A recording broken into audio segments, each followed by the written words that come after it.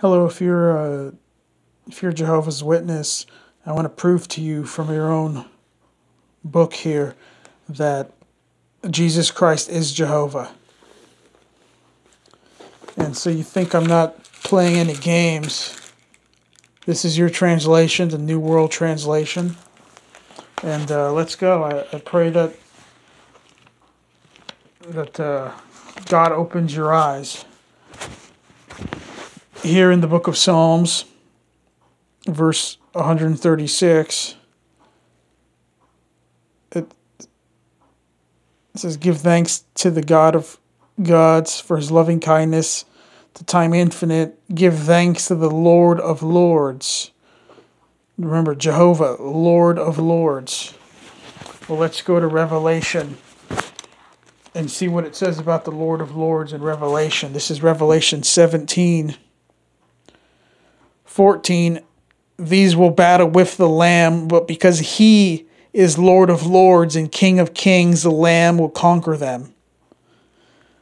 The, the Lamb of God is Jesus Christ. He is Lord of lords and King of kings. I have more proof from your own book.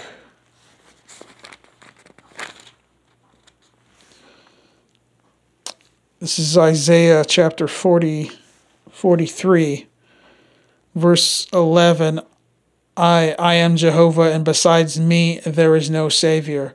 Let's Jehovah says besides him there is no savior.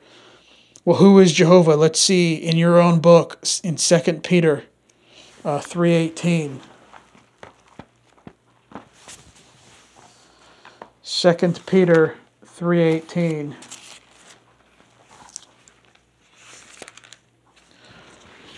I'm here to tell you that the Watchtower's lying to you. They don't want you to know the truth.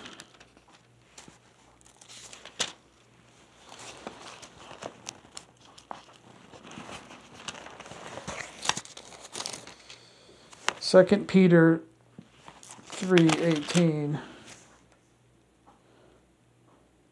of our Lord and Savior Jesus Christ Jesus Christ is the Savior because Jesus Christ is Jehovah.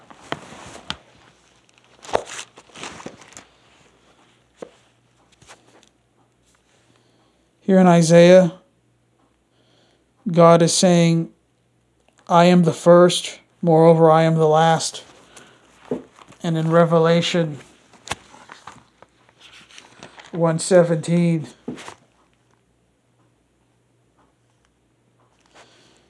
says, I am the first and the last and the living one, and I became dead. But look, I am living forever and ever, and I have the keys of death and of Hades. Who died? If the Bible teaches that Jesus Christ was God manifested in the flesh,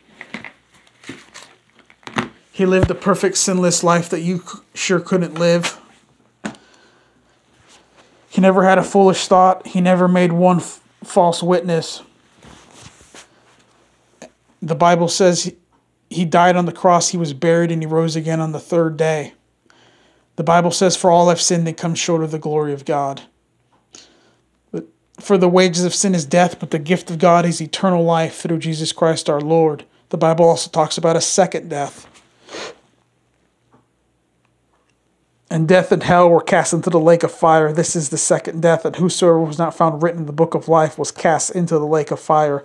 And here are the types of people that, according to God, deserve the lake of fire, but the fearful and unbelieving, and the abominable, and murderers, and whoremongers, and sorcerers, and idolaters, and all liars shall have their part which burneth with fire and brimstone, which is the second death.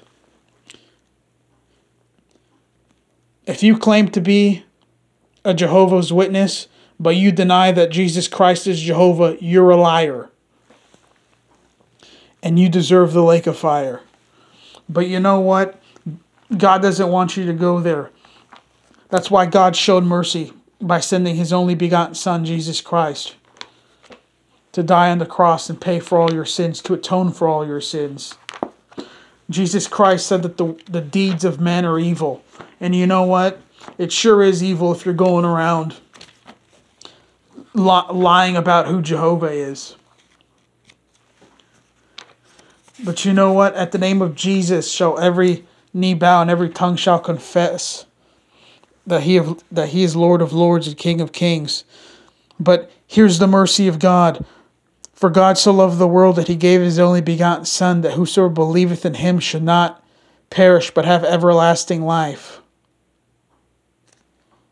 He that believeth on him is not condemned, but he that believeth not is condemned already, because he hath not believed in the name of the only begotten Son of God.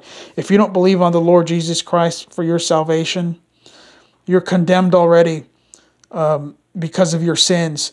The only thing that can atone for your sins is Jesus Christ's blood shed on the cross.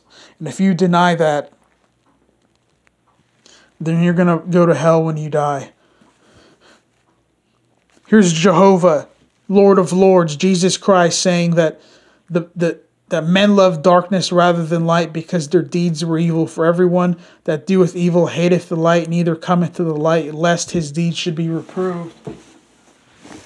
John 4 14 6 says, Jesus saith unto him, I am the way, the truth, and the life. No man cometh unto the Father but by me. My friend, it's not too late. The Bible says, Sirs, what must I do to be saved? And the answer to that is believe on the Lord Jesus Christ, and thou shalt be saved in thine house. It's not of works of righteousness which we, you have done, it's by the mercy of God the Bible actually says that all our righteousness are as filthy rags. That's why we need the righteousness of Christ imputed onto us. And Jesus, my friend, is Jehovah. And Jesus Christ will set you free. I pray this comes to you well. In Jesus' name, amen.